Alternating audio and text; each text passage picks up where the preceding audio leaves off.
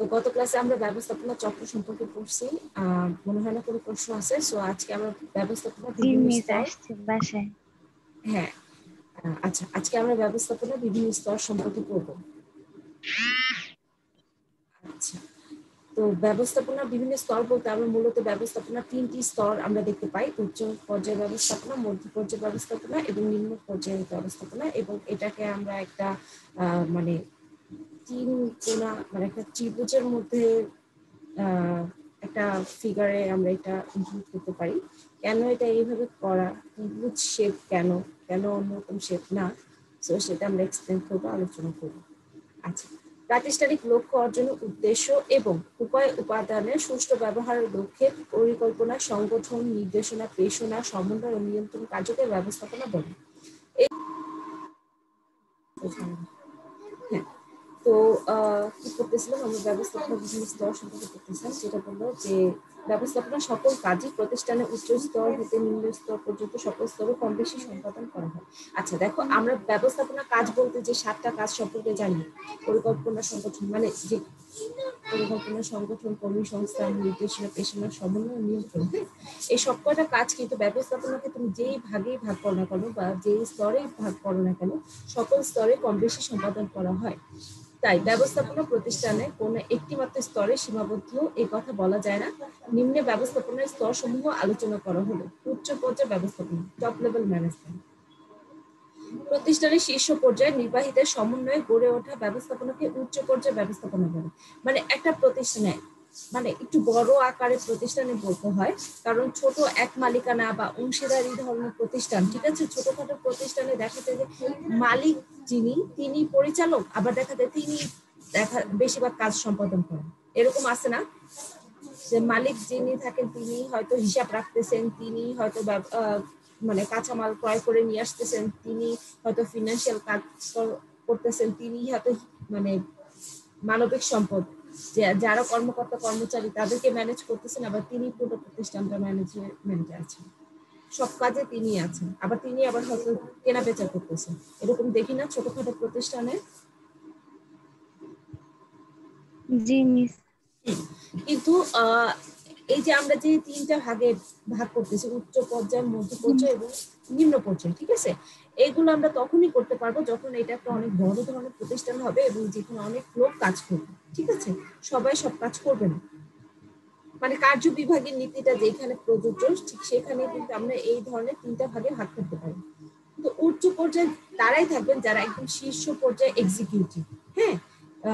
নির্বাহী যাদেরকে বলে, সমন্বয় গড়ে ওঠা ব্যবস্থাপকদের উচ্চ পর্যায়ে ব্যবস্থাপনা বলে, প্রতিষ্ঠানের উদ্দেশ্য নীতি নির্ধারণ।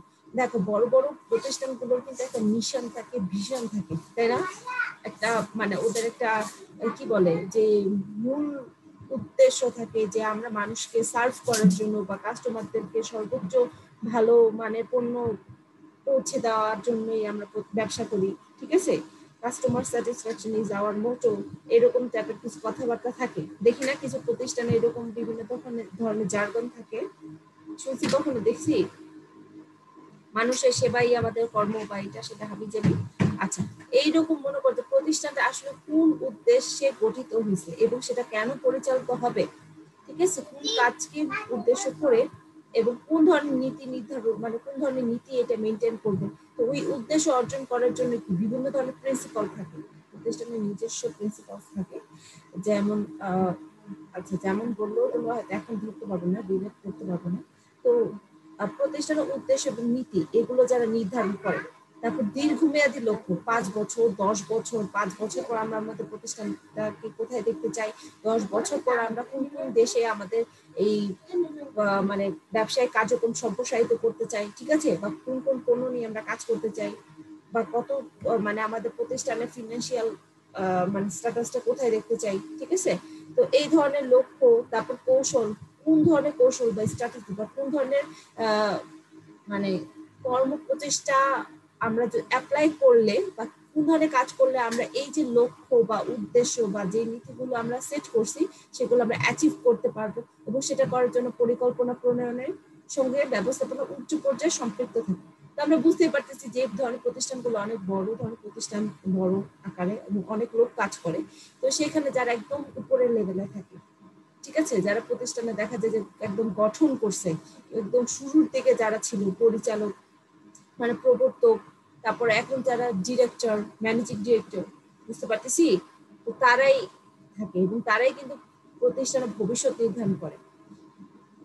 চিফ এক্সিকিউটিভ অফিসার হ্যাঁ কোনো কোম্পানির পরিচালক মন্ডলী, এই যে যারা পরিচালনা করতেছে ডিরেক্টর পরিচালক পরিচালক মন্ডলীর চেয়ারম্যান ম্যানেজিং মানে একদম যে ফাউন্ডার যাকে বলে, ঠিক আছে, বা চেয়ারম্যান প্রতিষ্ঠান চেয়ারম্যান তারপর ম্যানেজিং ডিরেক্টর তারপর সচিব ও ক্ষেত্র বিশেষে মানে কিছু কিছু প্রতিষ্ঠানের ক্ষেত্রে দেখা যায় জেনারেল ম্যানেজার মানে জিএম যারা সংক্ষিপ্ত আমরা জিএম বলি বা জেনারেল ম্যানেজার এই পর্যায়ে ব্যবস্থাপনা আওতাভুক্ত থাকেন।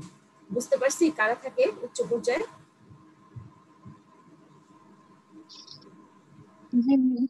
হ্যাঁ এবং তাদের কাজটা কি? তাদের কাজটা হলো প্রতিষ্ঠানের উদ্দেশ্য ও নীতি নির্ধারণ। মানে প্রতিষ্ঠানটা কোন উদ্দেশ্যে গঠিত হয়েছে এবং কেন এটা কোন উদ্দেশ্যে এটা পরিচালিত হবে? ঠিক আছে? কোন কাজে বা কোন ধরনের কাজে আমরা ফোকাস করব বা কোন ধরনের ব্যবসায়িক কার্যক্রমকে আমরা অ্যাভয়েড করব সেগুলো এবং সেগুলো জন্য যে ধরনের নীতি নির্ধারণ করা, লক্ষ্য, দীর্ঘমেয়াদী। অবশ্যই যে আজকে কি করব বা এক সপ্তাহ পর কি করব বা এক মাস পর কি করব সেটা না। অবশ্যই দীর্ঘমেয়াদী লক্ষ্য, কৌশল এবং পরিকল্পনা প্রণয়নের সাথে এরা সম্পৃক্ত থাকে। তো এই ধরনের কাজ যারা করবেন তারা কি উচ্চ পর্যায়ে ব্যবস্থাপনা। আমরা আলাদা করতে পারব? আচ্ছা মধ্য পর্যায়ে ব্যবস্থাপনা মিড লেভেল ম্যানেজমেন্ট উচ্চ পর্যায়ে গৃহীত লক্ষ্য। দেখো, উচ্চ পর্যায়ে কিন্তু আমরা দেখতেছি কিছু তারা লক্ষ্য, কৌশল, পরিকল্পনা প্রণয়ন হ্যাঁ পরিকল্পনা নীতি নীতি নির্দেশনা বাস্তবায়নে মানে এই যে পরিকল্পনাগুলো তারা গ্রহণ করছেন, লক্ষ্য নির্ধারণ করছেন, নীতি নির্ধারণ করছেন হ্যাঁ বা নির্দেশনা দিচ্ছেন, সেগুলো বাস্তবায়ন কারা করবে?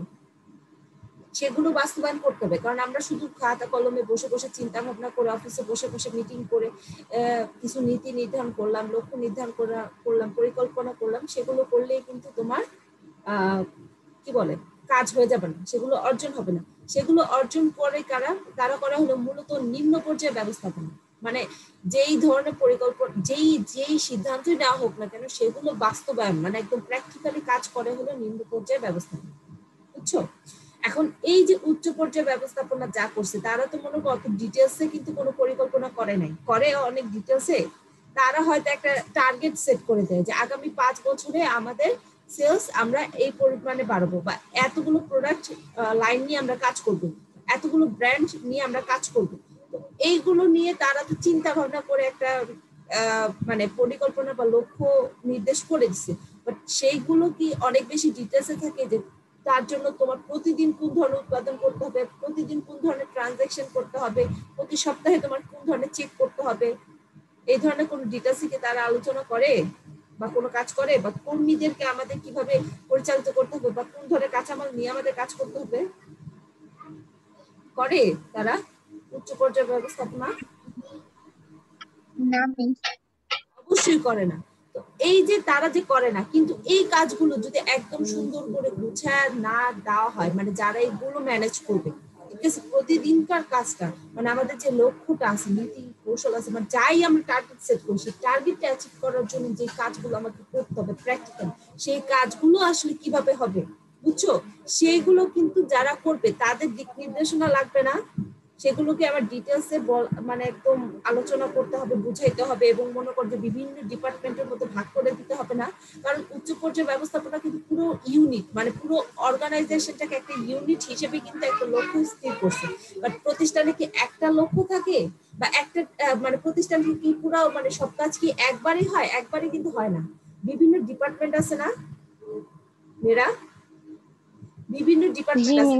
মানুষজন আছে, ঠিক আছে? তারা বিভিন্ন ভাবে কাজ করে, ঠিক আছে? বিভিন্ন ধরনের কাজে এক একজন সম্পৃক্ত। কে কোন কাজটা করবে? কে কীভাবে করবে? তো এই কাজগুলো যারা আসলে প্র্যাকটিক্যাল করতেছে, তাদের জন্য তাদেরকে করার সুবিধার জন্য, ঠিক আছে? তাদেরকে একদম ডিটেলসে মানে কমিউনিকেট করার জন্য। বুঝতে পারছ? নির্দেশনা দেওয়ার জন্য কাজটা করে মধ্য পর্যায়ে ব্যবস্থাপনা দেখো উচ্চ পর্যায়ে গৃহীত লক্ষ্য পরিকল্পনা, নীতি নির্দেশনা, বাস্তবায়নে নিম্ন পর্যায়ে ব্যবস্থাপককে কাজে লাগাতে। এই যে নিম্ন পর্যায়ে ব্যবস্থাপকদের কাজে লাগাতে ব্যবস্থাপনার যে পর্যায়ে কাজ করে তাকে মধ্য পর্যায়ে ব্যবস্থাপনা বলে। এরূপ পর্যায়ে উচ্চ ও নিম্ন পর্যায়ে ব্যবস্থাপনার মধ্যে সেতু বন্ধকের ভূমিকা পালন করে। দেখো, উচ্চ পর্যায়ে তো পরিকল্পনা প্রণয়ন করছে বা বড় বড় কাজগুলো করে ফেলছে। ঠিক আছে? মানে নীতি নির্ধারণ করে ফেলছে, ভবিষ্যৎ নির্ধারণ করে ফেলছে। এখন সেই ভবিষ্যৎটাকে বাস্তবায়ন করার জন্য, ঠিক আছে? বাস্তবায়ন কারা করবে? করবে নিম্ন পর্যায়ে ব্যবস্থাপনা। বাট এইটা কীভাবে করবে, ঠিক আছে? এবং সেই কাজ, সেই মানে উচ্চ পর্যায়কে আর নিম্ন পর্যায়কে একসাথে কানেক্টেড রাখে কি? এই মধ্য পর্যায়ে ব্যবস্থাপনা। এর জন্য তাদেরকে বলা হয় সেতু বন্ধকের ভূমিকা পালন করে। এ পর্যায়ে উচ্চ পর্যায়ে গৃহীত লক্ষ্য, নীতি, কৌশল ও পরিকল্পনা বাস্তবায়নের জন্য প্রয়োজনীয় পরিকল্পনা গ্রহণ, উপায় উপকরণাদি সংগঠিতকরণ পরিচালনা নেতৃত্ব প্রদান, সমন্বয় এবং নিয়ন্ত্রণ কার্য পরিচালনা করেন বুঝতে পারছি? মানে কীভাবে উচ্চ পর্যায়ে যে লক্ষ্যগুলো নির্ধারণ করা হয়েছে মানে যেই লক্ষ্যগুলো নির্ধারণ করা হয়েছে, কৌশল বা পরিকল্পনা মানে স্ট্র্যাটেজি কৌশল বলতে স্ট্র্যাটেজি বিজনেস স্ট্র্যাটেজি বুঝেছে, এগুলো বাস্তবায়ন করা যায়। তার জন্য প্রয়োজনীয় পরিকল্পনা গ্রহণ। এখন মনে করছে ডিপার্টমেন্ট ওয়াইজ যে প্রোডাকশন ডিপার্টমেন্ট কি করবে মার্কেটিং ডিপার্টমেন্ট কি করবে ফিনান্স ডিপার্টমেন্ট কীভাবে টাকা ম্যানেজ করবে, ঠিক আছে? বুঝতে পারতেছি? বা হিউম্যান রিসোর্স ডিপার্টমেন্টগুলো কীভাবে লোক নিবে, লোক কি বেশি নিতে হবে, নাকি আমাদের লোক ছাটাই করতে হবে? মানে কোন ধরনের লোকগুলোকে আমাদের প্রমোশন দিয়ে অন্যান্য কাজে, অন্যান্য সেক্টর গুলোতে আমাদেরকে নিতে হবে, ঠিক আছে? তো এই উপকরণাদি সংগঠিত ওই যে গোছানো, তারপর পরিচালনা, সেগুলোকে পরিচালনা করতে হবে এবং নেতৃত্ব প্রদান, সমন্বয় এবং প্রয়োজনে নিয়ন্ত্রণও করতে হবে। কোন ডিপার্টমেন্ট যদি দেখা যায় যে কাজে এলোমেলো হয়ে গেছে, ঠিক আছে, বা কাজটা ঠিক মতো বুঝাইতে পারতেছি তো সেগুলো কি আমাদের নিয়ন্ত্রণ করতে হবে। ঝামেলা হলে সেখানেও আমাদের কন্ট্রোলিংয়ে যাইতে হবে।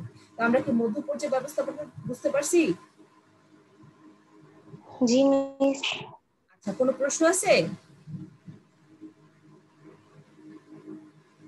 আচ্ছা কোনো প্রশ্ন মনে হয় নাই। আচ্ছা নিম্ন পর্যায়ে ব্যবস্থাপনা lower level management or first line management মধ্য পর্যায়ে ব্যবস্থাপনা কর্তৃক গৃহীত পরিকল্পনা ও নীতি কৌশল মাঠ পর্যায়ে বাস্তবায়নের দায়িত্বপ্রাপ্ত ব্যবস্থাপনাকে নিম্ন পর্যায়ে ব্যবস্থাপনা বলে। মানে মাঠ পর্যায়ে মানে কি? এখন তুমি একদম ফিল্ডে কাজ করতেছো। মানে কারখানা ফিল্ড বলতে গেলে যে একদম তুমি মাঠে চলে গেছো, খোলা মাঠে, সেটা না।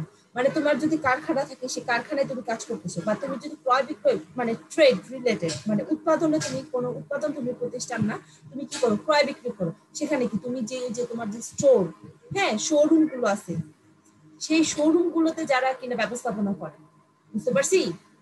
তোমার যদি কারখানা থাকে, সেখানে যদি উৎপাদন হয়, সে উৎপাদনে কারখানায় যারা কাজ করতেছে মানে কাজ মনে করি, শ্রমিক মেন করতেছে মেন করতেছি আমি। আমি মেন করতেছি যারা ওই যে কারখানা ব্যবস্থাপনার দায়িত্বে আছে।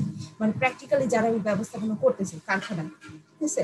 বা তোমার যদি ক্রয় বিক্রয় দিনের প্রতিষ্ঠান হয়, সেইখানে যারা ই করতেছে মানে শোরুমে বা দোকানে যারা হলো ম্যানেজমেন্ট করতেছে। তারপর আবার এরকম বোধ হতে পারো যে, তুমি হয়তো কোনো ডেভেলপার মানে ওই যে হাউজিং ডেভেলপার মানে তুমি বিল্ডিং তৈরি করো আবাসিক এরিয়ার বিল্ডিং তৈরি করতেছো বা হয়তো কমার্শিয়াল কমার্শিয়াল এরিয়াতে কোনো বিল্ডিং তৈরি করতেছো সেইখানে যে শ্রমিক যারা একদম যারা কাজ করে লেবার শ্রেণি ঠিক আছে? তাদেরকে যারা ম্যানেজমেন্ট করে বুঝতে পারছি? এবার কারা হাফিজা তাহমিনা? জি মিস বুঝতে পার হুম তো এই যে মাঠ পর্যায়ে মানে যারা একদম প্র্যাকটিক্যালি যারা যে যে কাজটা হচ্ছে হ্যাঁ সেখানে যারা নীতি, কৌশল হ্যাঁ এবং পরিকল্পনা যারা গ্রহণ করে, তারা যারা মানে একদম মানে শ্রমিকদেরকে মেনটেন করে ম্যানেজ করে, তাদেরকে বলে নিম্ন পর্যায়ে ব্যবস্থাপনা। মানে তারা যে একদম উৎপাদনের কাছে তারাও যে শ্রমিকদের মতো কাজ করতেছে তা না। মানে যারা শ্রমিক লেভেলে কাজ করতেছে, ঠিক আছে, উৎপাদন লেভেলে বা রুট লেভেলে কাজ করতেছে, তাদেরকে যারা ম্যানেজমেন্ট করে। এই পর্যায়ে এই পর্যায়ের উপরের মধ্যে সরি এই পর্যায়ের উপরের মধ্যে মধ্য পর্যায়ে ব্যবস্থাপকগণ ও নিচের দিকে থাকে ব্যবস্থাপনার সাথে সংশ্লিষ্টরা এমন কর্মী বা শ্রমিক। মানে এই যে নিম্ন পর্যায়ে ব্যবস্থাপনার যে উপরে থাকে মধ্য পর্যায়ে ব্যবস্থাপকগণ যারা ওই যে বিভিন্ন ডিপার্টমেন্ট ওয়াইজ বা বিভিন্ন সেগমেন্ট ওয়াইজ গ্রুপ ওয়াইজ বা টিম ওয়াইজ কি করছে? মানে আমাদেরকে প্ল্যানিং করে দিছে, সংগঠন ম্যানেজ মানে আমাদের হয়তো অর্গানাইজ করে দিছে বা যে রিসোর্সগুলো আমাদের লাগবে, সেগুলোকে আমাদের অর্গানাইজ করে দিছে। তারপর কে কোন কাজটা করবে, কীভাবে করবে, সেই সম্পর্কে আমাদের ডিরেকশন দিচ্ছে, তত্ত্বাবধান করতেছে সুপারভাইজ করতেছে, ঠিক আছে? তারা হলো মধ্য পর্যায়ে ব্যবস্থাপক এবং নিম্ন পর্যায়ে ব্যবস্থাপক আবার কাদেরকে নিয়ে কাজ করে? যারা কিনা কোন রকম ব্যবস্থাপনার সাথে সংশ্লিষ্ট নয়, এমন কর্মী বা শ্রমিক, ঠিক আছে? এই যে তোমার, ধরো তোমার কারখানায় যারা কিনা মেশিন পরিচালনা করতেছে বা যারা প্রোডাক্ট তৈরি করতেছে, একটা গার্মেন্টস দেখো যারা কিনা ওই যে সেলাই করতেছে বা বুদাম লাগাচ্ছে বা আয়রন করতেছে বা ডাইং এর কাজ আছে, তো তারা কি কোনো রকম ব্যবস্থাপনা বা ম্যানেজমেন্টের সাথে কি জড়িত? তারা কি কোনো ব্যবস্থাপনা সংশ্লিষ্ট কাজ করে? তাদের যা কাজ ডেইলি যে কাজ, যতক্ষণ কাজ তারা তাদের টার্গেট অনুযায়ী কাজ করে যাচ্ছে। তারা কাজটা ঠিকঠাক মতো করতেছে কিনা বা তাদের কোনো প্রবলেম হচ্ছে কিনা বা তাদের কোনো রকমের অ্যাসিস্ট্যান্ট লাগবে কিনা, সেইটা যারা দেখাশোনা করে, তারাই হলো নিম্ন পর্যায়ে ব্যবস্থাপনা। এবার বুঝতে পারছি? নিম্ন পর্যায়ে ব্যবস্থাপনা কারা? তাহমিনা বুঝতে পারছি? হাফিজা? জি মিস। আচ্ছা নিচের দিকে বুঝতে পারছি। হ্যাঁ নিচের দিক থেকে ওপর দিকে চিন্তা করলে একেবারে প্রথম সারি ব্যবস্থাপক কোন এ পর্যায়ে অন্তর্ভুক্ত? আচ্ছা আমরা যদি একদম নিচের থেকে প্রতিষ্ঠানের নিচের থেকে চিন্তা করি তাহলে হলো একদম প্রথম দিকে যাদেরকে আমরা দেখব। হ্যাঁ তারাই হলো এই ধরনের ব্যবস্থা প্রথম সারি। এ পর্যায়কে তত্ত্বাবধায়ক তত্ত্বাবধায়ক পর্যায়ে বা সুপারভাইজারি লেভেল নামে আখ্যায়িত করা হয়। মানে ওই যে গার্মেন্টস এর যারা সুপার আমরা যদি গার্মেন্টস এর কথা চিন্তা করি, সেখানে যে গার্মেন্টস এর যারা সুপারভাইজার থাকে না, বলে না যারা গার্মেন্টস কর্মী, তারা বলে না যে সুপারভাইজার কাজ করতে বলে বা সুপারভাইজার দেখাশোনা করে, তো তারা মেনলি কি করে? সুপারভাইজ করে যারা আসলে কাজটা করতেছে। হ্যাঁ? শ্রমিক কর্মী, তাদেরকে সারাক্ষণ দেখা- দেখাশোনা করে, তত্ত্বাবধান করে। সবাই ঠিক ঠাক মতো কাজ করতেছে কিনা, কারও কাজে ভুল হচ্ছে কিনা, বা কেউ ফাঁকি দিচ্ছে কিনা, বা কারও কাজটাকে ধরে দেখাই দিতে হবে কিনা হাতে কলমে। তো এর জন্য এটা কি সুপারভাইজারি লেভেল ম্যানেজমেন্ট নামে আখ্যায়িত করা হয়। আচ্ছা তো এখন হলে আমরা যেটা বলতেছিলাম, একটা রেখাচিত্র সাহায্যে বা একটা চিত্রের মাধ্যমে আমরা সবসময় ম্যানেজমেন্ট থেকে তিনটে স্তরকে আমরা মেনশন করি। যেমন উচ্চ পর্যায়টা সবসময় উপরে থাকে, মধ্য পর্যায়ে মাঝখানে থাকবে এবং নিম্ন পর্যায়ে নিচে আসবে কারা কারা উচ্চ পর্যায়ে, এটা আমরা আগেও দেখছি। চেয়ারম্যান পরিচালনা পরিষদ, ব্যবস্থাপনা পরিচালক, মহাব্যবস্থাপক প্রমুখ। ঠিক আছে? মহাব্যবস্থাপক মানে ডিরেক্টর তারপর জেনারেল ম্যানেজার তারপর ব্যবস্থাপনা পরিচালক ম্যানেজিং ডিরেক্টর তারা হলো উচ্চ পর্যায়ে মধ্য পর্যায়ে ব্যবস্থাপনা, বিভাগীয় ব্যবস্থাপক মানে বিভিন্ন ডিপার্টমেন্ট হেড যারা, ঠিক আছে? তারা তারপর সহকারী ব্যবস্থাপক মানে তাদেরকে সাহায্য করার জন্য যেমন অ্যাসিস্ট্যান্ট ম্যানেজমেন্ট যারা থাকে তারা, তারপর এরিয়া ম্যানেজমেন্ট মানে তোমার ব্যবসায়িক কার্যক্রম যদি একাধিক এরিয়াতে থাকে, তো সেখানে দেখা যায় ঢাকায় আছে ব্যবসায়িক কার্যক্রম, তারপর চিটাগং, কুমিল্লা, খুলনা, রাজশাহী সবকটা চার পাঁচটা জেলায় তোমার ব্যবসায়িক কার্যক্রম আছে? বা একাধিক দেশে, বাংলাদেশ আছে, ইন্ডিয়া আছে, নেপাল, শ্রীলঙ্কা হ্যাঁ এশিয়ার বিভিন্ন দেশে তোমার ব্যবসায়িক কার্যক্রম আছে? তো বিভিন্ন দেশের যে ম্যানেজার আছে, তো তারা মধ্য মধ্য পর্যায়ে ব্যবস্থাপনার মধ্যে পড়ে যাবে। তারপর নিম্ন পর্যায়ে ব্যবস্থাপনা কি? ফোরম্যান সুপারভাইজার ইত্যাদি। বুঝতে পারছি? তো এখন আমার প্রশ্ন হলো আমরা তো মনে করো যে এটাকে চার চার কোণা মানে চতুর্ভুজ শেপেও দিতে পারতাম। দিতে পারতাম না। এই যে এই চিত্রটা আমরা কেন ত্রিভুজের মধ্যে কেন দিলাম? কেন আমরা চতুর্ভুজ বা আয়তকার রেখায় কেন দিলাম? না? চতুর্ভুজ দিলেও তো মনে করো যে উপরে ভাগটা আমরা উচ্চ পর্যায়ে মধ্য ভাগটা মধ্য পর্যায়ে এবং নিচের ভাগটা নিচে পর্যায়ে দিতে পারতাম। বা গোল শেপও তো দিতে পারতাম। বাট সেটা না দিয়ে আমরা সবসময় কেন ত্রিভুজে কেন মেনশন করি? এরকম প্রশ্ন কি কখনো আসছে মাথায়? এই চিত্রটা কিন্তু আমরা প্রথম মানে ফার্স্ট ইয়ার থেকে দেখে আসতেছি। দেখে আসছি না একদম ফার্স্ট ইয়ারেই তো প্রথম দিকে এই চ্যাপ্টারটা পড়ছি। তখন কি কোনো প্রশ্ন আসছিল মাথায়? কেন আমরা ত্রিভুজের মতো এই চিত্রটা দিয়ে বুঝাবো? ব্যবস্থাপনা তিনটে স্তর। আসে নাই কারও মাথায়। হাফিজা তাহমিনা।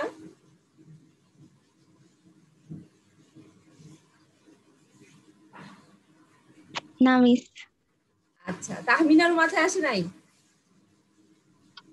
না মিস আচ্ছা।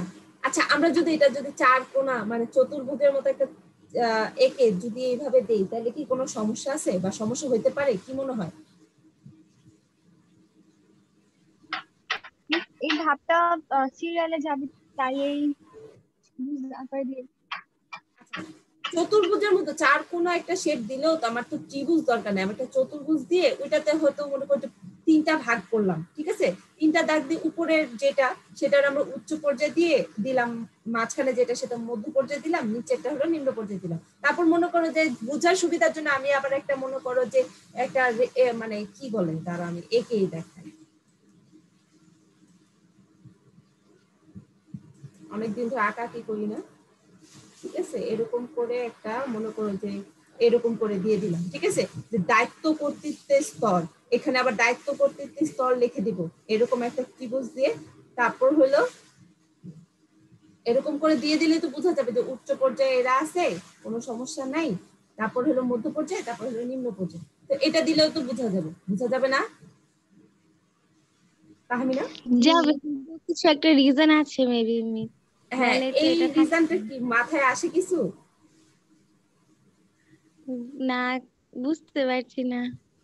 আচ্ছা আচ্ছা ঠিক আছে। এই যে এই প্রশ্নটা আনার জন্যই আমি এতগুলো কথা বললাম। দেখো একটা প্রতিষ্ঠান যত বড় হোক না কেন হ্যাঁ এর যে মনে করো যে চেয়ারম্যান কয়জন থাকবে? যত বড় হোক মনে করো যে পৃথিবীর সব কয়টা দেশে তার ব্যবস্থাপনা কার্যক্রম মানে তার ব্যবসায়িক কার্যক্রম আছে হ্যাঁ তো তার চেয়ারম্যান কয়জন থাকবে? একজন। একজন। পরিচালনা পরিষদের সর্বোচ্চ হোক দশ থেকে বারো জন। এর বেশি তো হবে না। পরিচালনা পরিষদ কি মানে ডিরেক্টর ঠিক আছে বোর্ড অফ ডিরেক্টর বেশি হয়? কখনোই বেশি হয় না। তুমি দেখবে অনেক বড় একটা প্রতিষ্ঠানে হয়তো পাঁচ থেকে ছয় জন ডিরেক্টর থাকে। বুঝতে পারছি? কারণ এই ডিরেক্টরগুলো অনেক বেশি ক্ষমতা সম্পন্ন হয়ে যায়। মানে অনেক পাওয়ারফুল থাকে। যে কোনো সিদ্ধান্ত বেটো দেওয়ার ক্ষমতা তাদের প্রত্যেকের থাকে। যে কোনো একটা সিদ্ধান্ত, সেটা যতটাই মনে কর পটেনশিয়াল মনে হোক না কেন, যতটাই বেশি লোভনীয় মনে হয় না যে অনেক প্রফিটেবল হবে, এরকম একটা কোন একটা প্রজেক্ট সেই প্রজেক্টটা মনে কর যে সব কজন দশজন ডিরেক্টরের মধ্যে নয় জনেরই পছন্দ হয়েছে যে হ্যাঁ তারা কনভিন্সড হ্যাঁ এটা নেওয়া যায়, এটা আমরা বাস্তবায়ন করব। জাস্ট একজনের মনে হয়েছে যে না, এটা আমি করব না, আমার কাছে এটা মনে হচ্ছে যে এটা এ করলে এই ধরনের ঝামেলা হবে, বাদ প্রজেক্টটা বাদ। তো দেখো, এইরকম প্রবলেম এড়ানোর জন্য বা সবার কনসেন্ট নেওয়া বা সব কাজগুলো এফিসিয়েন্টলি করার জন্য পরিচালনা পরিষদ বা ডিরেক্টর বোর্ড অফ ডিরেক্টর কিন্তু বেশি থাকে না, কমই থাকে। সর্বোচ্চ দশ বারো জন থাকে, অনেক বড় প্রতিষ্ঠান হলো তারপর ব্যবস্থাপনা পরিচালক ম্যানেজিং ডিরেক্টর মানে যারা এক্সিকিউটিভ ঠিক আছে? মধ্য পর্যায়ে ব্যবস্থাপনা যারা করবে, তো তাদের যে যে মেনটেন মানে তার সবচেয়ে একদম উপরে লেভেলে যিনি থাকেন, তিনি কয়জন থাকবেন? অবশ্যই একজন, তাই না? তারপর মহা ব্যবস্থাপক জিএম জিএমও একজনই থাকে বুঝতে পারছি? তার মানে দেখো তোমার একটা প্রতিষ্ঠান যদি পৃথিবীর প্রত্যেকটা দেশে যদি তার ব্যবসায় কার্যক্রম থাকে তাহলে বুঝতে পারতেছো কত বড় একটা প্রতিষ্ঠান সেটা? তো সেই প্রতিষ্ঠানে তোমার এই উচ্চ পর্যায়ে ব্যবস্থাপক কতজন হবে? সর্বোচ্চ পনেরো থেকে বিশ জন হবে তাই না? এর বেশি হওয়া সম্ভব? আচ্ছা তো এইটা আমরা দেখলাম উচ্চ পর্যায়ে ব্যবস্থাপনা। তারপর মধ্য পর্যায়ে ব্যবস্থাপনার কথা চিন্তা করো, বিভাগীয় ব্যবস্থাপক। এখন বাংলাদেশ না, তোমার পৃথিবী দুইশো তিরিশটা কয়টা দেশ আমাদের? আচ্ছা ধরো পৃথিবীতে দুইশো তিরিশটা দেশ আছে। এখন প্রত্যেকটা দেশে তোমার কি আছে? ব্যবসায়িক কার্যক্রম আছে, ঠিক আছে? এবং এর জন্য এরিয়া ম্যানেজার কত? দুইশো তিরিশ জনে লাগবে। তারপর তোমার বিভাগীয় ব্যবস্থাপক, প্রত্যেকটা ডিপার্টমেন্ট। ঠিক আছে প্রোডাকশন ডিপার্টমেন্ট আছে ফিনান্স ডিপার্টমেন্ট আছে অপারেশন অপারেশন প্রোডাকশনে চলে যায় তারপর হিউম্যান রিসোর্স ডিপার্টমেন্ট আছে মার্কেটিং ডিপার্টমেন্ট আছে রিসার্চ এন্ড ডেভেলপমেন্ট ডিপার্টমেন্ট আছে, আরও কয়েক শো ডিপার্টমেন্ট তোমার থাকতে পারে। এক একটা ব্র্যান্ড আছে, যেমন প্রাণীরই কতগুলো ব্র্যান্ড আছে, প্রাণের নিজের নামের একটা জিনিস আছে, তারপর বিস ক্লাব আছে, তারপর কি আছে? লিভানা একটা ব্র্যান্ড আছে প্রাণ আরএফএল আরএফএল তো আছে ঠিক আছে? তো এই যে দেখো এতগুলো ডিপার্টমেন্ট মানে ব্র্যান্ড আছে ব্র্যান্ড এবং ডিপার্টমেন্ট তারপর আবার এইগুলোর আবার বিভিন্ন সহ- সহকারী ব্যবস্থাপক, এই যে জিএম এর যারা থাকে ডেপুটি জেনারেল ম্যানেজমেন্ট জিজিএম আছে, তো এইখানে কি মানুষজন অনেক বেশি হয়ে যাবে না? তুমি ধরো যে তোমার যদি উচ্চ পর্যায়ে ব্যবস্থাপনা যদি বিশ জনও থাকে মধ্য পর্যায়ে ব্যবস্থাপক কমসে কম তিনশো হয়ে যাচ্ছে না? তোমার যদি অনেক বড় একটা প্রতিষ্ঠান থাকে, তুলনামূলকভাবে বেশি না? জি, মিস। হুম। আচ্ছা আর এখন আসি নিম্ন পর্যায়ে ব্যবস্থাপনা। ফোরম্যান সুপারভাইজার যারা কিনা ওই যে একদম মানে মাঠ পর্যায়ে যেখানে কাজ হচ্ছে, যেখানে কারখানায় কাজ হচ্ছে বা শোরুমে কাজ হচ্ছে, সেইখানে যারা ম্যানেজমেন্ট করতেছে সুপারভাইজ করতেছে। তো এরা কিন্তু একদম সরাসরি যারা কাজ করতেছে, তাদের সাথে কানেক্টেড বা কন্ট্যাক্টে আসতেছে, ঠিক আছে? তো তুমি যতই সুপার হিউম্যান হও না কেন, তুমি কিন্তু এক মানে মানুষের সরাসরি কাজ দেখানো এবং তাদেরকে মনিটর করার তোমার কিন্তু একটা লিমিটেশন থাকবে। তুমি সর্বোচ্চ পঞ্চাশ জনকে দেখাশোনা করতে পারবা বা কাজ অনুযায়ী কখনো কখনো দেখা যায় যে তিনজনের জন্য একজন করে সুপারভাইজার থাকে। তোমার কাজটা যদি অনেক জটিল হয় মানে দেখা যায় যে গাড়ি তৈরি বা অনেক ইলেকট্রনিক কোনো জিনিসপত্র তৈরি তখন দেখা যাবে যে পাঁচজন টিম পাঁচজন শ্রমিক কাজ করতেছে সে পাঁচজন আসলে কখন কি করতেছে সেটা দেখার জন্য একজন করে সুপারভাইজার দিয়ে রাখছে বা ফোরম্যান আছে। তো সেইখানে তুমি দেখো তোমার উৎপাদন যত বেশি হবে তোমার সুপারভাইজার বা ফোরম্যানের সংখ্যা কি তত বেশি হবে না? এমন তো কয়েক হাজারও হয়ে যেতে পারে না? মেয়েরা? জি তাইলে দেখো আমাদের এই ত্রিভুজ শেপটা কীরকম? নিচের শেপটা সবচেয়ে বেশি ঠিক আছে? স্পেস সবচেয়ে বেশি পাওয়া যাচ্ছে।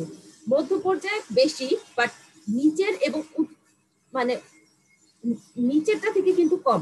ত্রিভুজ শেপে এরকম না যে মধ্য পর্যায়ে যে এখানে একটু জায়গা কমে যাচ্ছে না আমাদের? যাচ্ছে? জি মিস হ্যাঁ আর উচ্চ পর্যায়টাকে একদম ছোট্ট জায়গা অল্প একটু জায়গা তাই তো? তো এই যে দেখো ব্যবস্থাপনা বিভিন্ন স্তরে যেই পরিমাণে লোকজন নিয়োজিত থাকে ঠিক আছে সেইটা অনুযায়ী আমাদের ত্রিভুজ শেপটাই সবচেয়ে বেশি মানে রিজনেবল ঠিক আছে লজিক্যাল দেওয়া। কারণ উচ্চ বুঝছি এখন? হ্যাঁ মানে উচ্চ পর্যায়ের লোক থাকবে তোমার কম। সো এর জন্য এই যে ত্রিভুজ শেপে অল্প মাথা একদম টিপিং টিপের দিকে থাকবে মধ্য পর্যায়ে বেশি কিন্তু অবশ্যই নিম্ন পর্যায় থেকে কম। সো এর জন্য এটা হলো মাঝখানে যাচ্ছে বাট কিন্তু উচ্চ পর্যায় থেকে বেশি বা নিম্ন পর্যায় থেকে কম। তো এর জন্য এটা মাঝখানে আসছে। আর নিম্ন পর্যায়ে কি সবসময় বেশি থাকবে? সো এর জন্য এটা বেশি। তো কেন আমরা এই ত্রিভুজ শেপটা ইউজ করব বা কেন ত্রিভুজ শেপে অল টাইম ম্যানেজমেন্ট লেভেল বা স্তর আমরা কেন দেখাই? তো এটা বুঝছি? জি জি ভালো লাগছে? হ্যাঁ অনেক মজা লাগছে। আচ্ছা ঠিক আছে। হ্যাঁ আমাদের পড়াশোনা গুলো অনেক বোরিং হয়ে যাচ্ছিল। তো এর জন্য চিন্তা করলাম যে আজকে একটু কম করি একটু আলোচনা বেশি করি, ঠিক আছে? মানে আমার এই প্রশ্নটা আসছিল। আমি যখন মনে করো যে তোমাদের লেভেলে ছিলাম মানে তোমাদের মতো ইন্টারমিডিয়েটে তখন আমি বলতাম যে আচ্ছা স্তর তো ঠিক আছে। বুঝলাম কেন, কিন্তু কেন ত্রিভুজি কেন আমি দিব? কেন আমি অন্য শেপ দিব না? আমি তো ডিজাইন করে অন্যভাবেও দিতে পারি। ঠিক আছে? সো এই প্রশ্নটা আমি আমার ক্লাস টিচারে করছিলাম। সো টিচার প্রথমে মানে একদম ক্লাসের শেষের দিকে বলছিলাম। তখন টিচার বলছিল যে আচ্ছা এটা অনেক আলোচনা আছে, পরের ক্লাসে করব। পরের ক্লাসে পুরো ক্লাসটাই শুধু এটা নিয়ে আলোচনা হয়েছিল, আমার খুব ভালো লাগছিল, বুঝছ? তো এর জন্য আমি এই আলোচনাটা করলাম। ব্যবস্থাপনা কাজকে প্রকৃতগতভাবে চিন্তা করা থিঙ্কিং মানে তোমাকে অবশ্যই চিন্তা করতে হবে কনসেপচুয়ালি থিঙ্ক করতে হবে, বুঝতে হবে সিচুয়েশন ঠিক আছে? অনেক বেশি বসে বসে গবেষণা করার জিনিস আছে। ও, কাজ করা ডুইং এবং একই সাথে কাজও করতে হবে। এই দুই ভাগে ভাগ করা হলে উচ্চ পর্যায়ে ব্যবস্থাপনা অধিক মাত্রার চিন্তন কাজ। এই যে দেখো, তারা কিন্তু চিন্তা ভাবনা করে করে বসে বসে কিন্তু মিটিং করতেছে, বসে বসে কিন্তু বিভিন্ন লক্ষ্য, উদ্দেশ্য, ঠিক আছে? প্রিন্সিপাল স্ট্র্যাটেজি বিজনেস স্ট্র্যাটেজি এগুলো নিয়ে নিচ্ছে। চিন্তনীয় কাজ মানে উচ্চ পর্যায়ে যারা, তারা হলো মূলত চিন্তনীয় কাজ বেশি করে এবং নিম্ন পর্যায়ে ব্যবস্থাপনা অধিক মাত্রায় সরাসরি কাজের তত্ত্বাবধানের সাথে সম্পৃক্ত থাকে। মানে এই যে সরাসরি যে কাজ করছে যেখানে, সেখানে তারা জড়িত থাকে। অন্যদিকে মধ্য পর্যায়ে ব্যবস্থাপনার সাথে সম্পৃক্ত নির্বাহীগণ মানে এক্সিকিউটিভ যারা আছেন এই লেভেলে তারা মোটামুটি উভয় ধরনের কর্ম সম্পাদন করেন মানে তারা হলো উচ্চ পর্যায়ে যারা কাজ করতেছে, তাদের সাথেও যেমন তারা বসে বসে পার্টিসিপেট করতেছে এবং তাদের কাজগুলোকে যেমন হ্যান্ডেল করতেছে মানে যে সিদ্ধান্তগুলো না হচ্ছে, সেগুলো যেমন করে তারা ম্যানেজ করতেছে, ঠিক একই রকম মধ্য মানে নিম্ন পর্যায়ে যারা, প্রয়োজন হলে মধ্য পর্যায়ে ব্যবস্থাপনা, আবার নিম্ন পর্যায়ে ব্যবস্থাপক যারা সুপারভাইজার যারা, তাদের কাজও দেখাশোনা করতেছে। সুপারভাইজাররা ফাঁকি দিচ্ছে কিনা, বা তারা ঠিকঠাক মতো কাজটা করতে পারতেছে তো কাজটা ঠিকঠাক মতো করতে পারছে কিনা এর জন্য কি? সরাসরি যে ওই যে কারখানায় যে বা শোরুমে গিয়ে দেখাশোনা করতে হবে না? তো সেটাই তারা করতেছে। আচ্ছা আমাদের এখানে একটা কর্মপত্র আছে। একটা প্রতিষ্ঠানের নিম্নে উল্লেখিত কর্মকর্তা বিন্দুকে ব্যবস্থাপনা কোন পর্যায়ে করবে লিপিবদ্ধ করো। তো আমরা যদি বুঝতে পারি তো আমরা কিন্তু এখন এই কর্মপত্রটা করতে পারব। পারব না? হ্যাঁ এখনই করে ফেলি নাকি? আমাদের যদিও সময় শেষ কিন্তু মাঝখানে একটু ড্রপ দিয়েছিলাম। আমরা কি করব এখন? তোমরা যদি বলো তাহলে করব।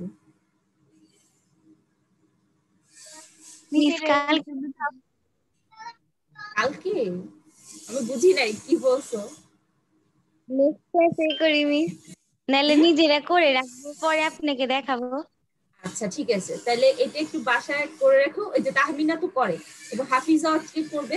মানে এটা বইয়ের মধ্যে পেন্সিল দিয়ে তুমি লিখে ফেলো লিখে দরকার হলে একটা করে স্ন্যাপ নিয়ে মানে ছবি নিয়ে আমাকে মানে ইনবক্স করে দিও। তাহলে আমিও দেখতে পাবো কে কি করছ বা নেক্সট ক্লাস আমরা সলভ করব কোনো সমস্যা নেই। তো সেটাও ভালো হবে। তো তাহলে কি আজকে আমরা ক্লাসটা শেষ করব? জিমি। আচ্ছা। আছে। তো